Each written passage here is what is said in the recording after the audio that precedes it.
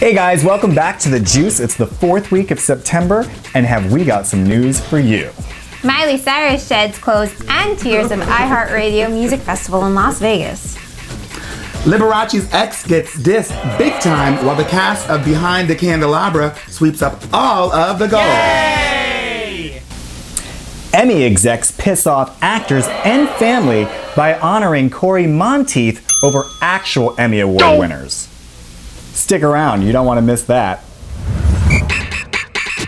Who's making waves and who's getting paid? Who's just been dumped and who's getting laid? Who's been locked up and who's letting loose?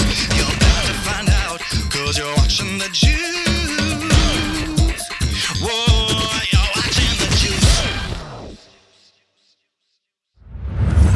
All right, guys, let's get started. Let's jump right in. T, what do you got for us? So the iHeartRadio Music Festival was yesterday, Saturday, the Right. 21st. And Miley Cyrus was staged to perform, as we all know, and she's been through some things lately. Uh-huh. Um, besides just, you know, her career and drugs, she's also broke, or her um, marriage to Liam Hemsworth is officially off, we all learned. Where does she have time for all this? So I, seriously, that girl. So she performed. It was her, the premiere live performance of Wrecking Ball, Right. which is the video with the sledgehammer. Yes, and um, she cried during the performance.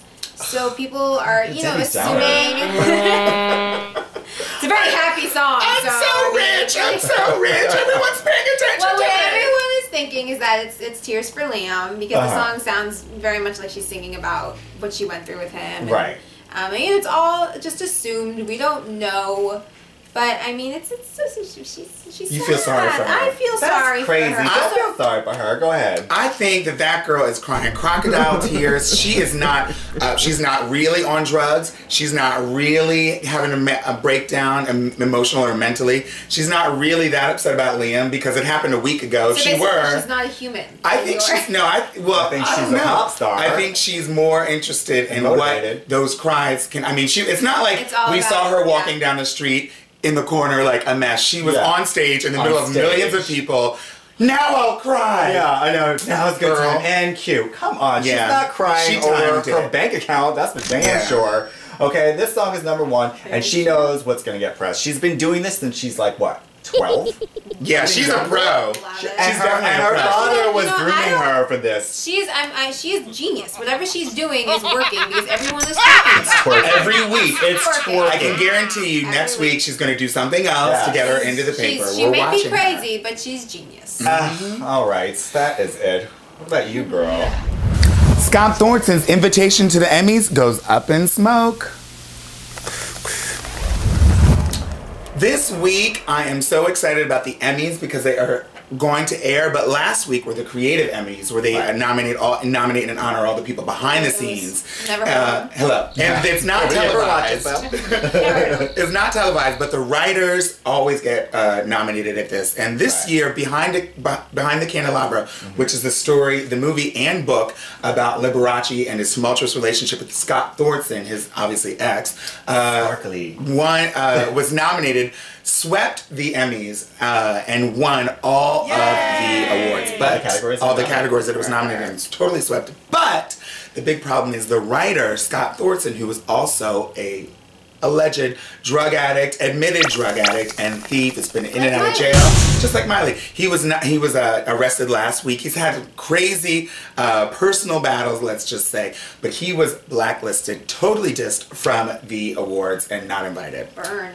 That's crazy. I'm like, you can't get all into people's personal issues. You know, if they wrote this Emmy award winning, like, uh, was it a book or a screenplay? Or? As a best-selling book turned into a movie that was nominated Yeah. with hu- super, huge stars, Michael Douglas, Right. Matt Damon, who all have gotten their Emmy Right. nominations because then, of this. then you should be invited. I mean, I who agree. who are the Emmy police? That, oh, you can't go. I want to see that. Okay, if you are tweaking out of your mind, well, you know what?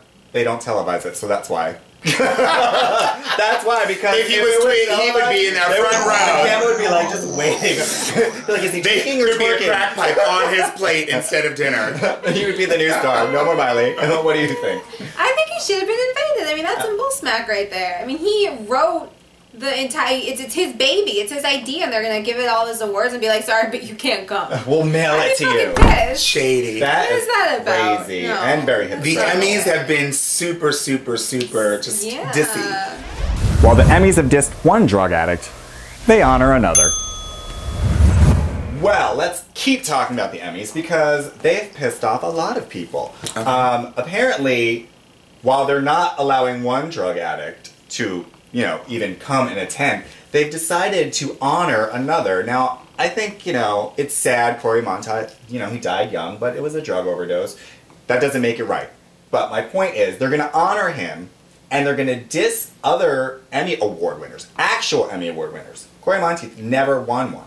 Uh, but Jack Klugman from The Odd Couple, he won three. He's not going to be honored. And so this doesn't sit well with a lot of actors and his son. He said Corey does not de- de- uh, deserve this award, and he went on and on and on. Corey Monteith's mom actually heard about this and said, That's not true. My son, yes, he didn't win any awards, but he was very young, and he would have gone on to be great. What do you guys think?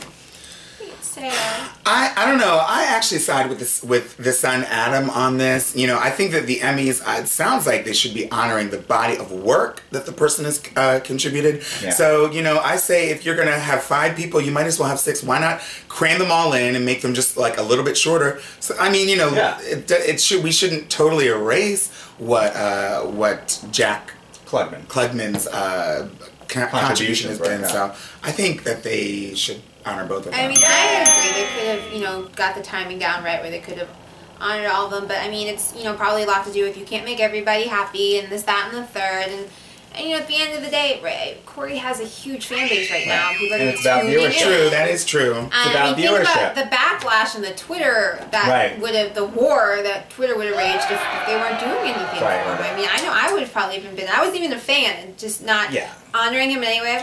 The truth Uh, is, the the people who actually watch The Odd Couple probably aren't going to be watching the Emmys anyway. Yeah, because they're dead. Anyway, sleep. They're sleeping, not, not. They don't have TV in heaven. All right, well, that's all we have time for this week, but stick around for our Blue Michael Cosmetics Hottie of the Week segment after the jump. Hey, thanks for watching The Juice. And if you have any suggestions for topic of the week you want us to talk about, make sure you send us a message on our Facebook page, facebook.com backslash The Juice Web Series. And don't forget to like our videos, subscribe to our YouTube channel, and if you have any comments, make sure you let us know what they are. We want to hear from you, kid. Ow.